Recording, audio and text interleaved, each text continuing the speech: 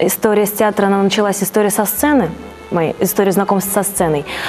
А, У меня пела мама, и в детском саду она преподавала у нас музыкальные уроки, и я, естественно, тоже выступала. И как на всех утренниках, на всех праздниках, я была самой главной заводилой, естественно. А, И моя первая серьезная такая большая роль была принцесса Лебедь в сказке о царе Салтана, о царе Салтане.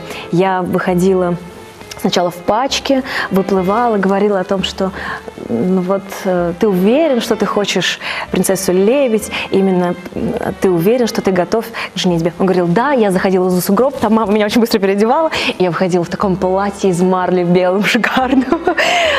Все так делали, вау, как она быстро переоделась.